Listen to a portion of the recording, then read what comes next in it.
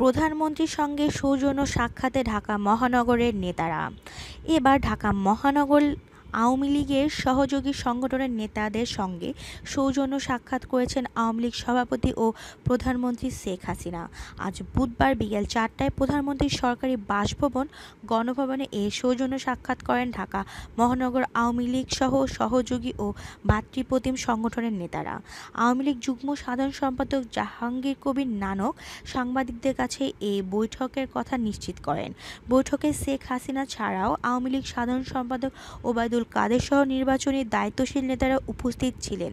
ওদিকে মহানগর আওয়ামী লীগ দক্ষিণ ও উত্তর এবং মহানগর সহযোগী ও ভাতৃপ্রতিম সংগঠনের নেতারা উপস্থিত ছিলেন।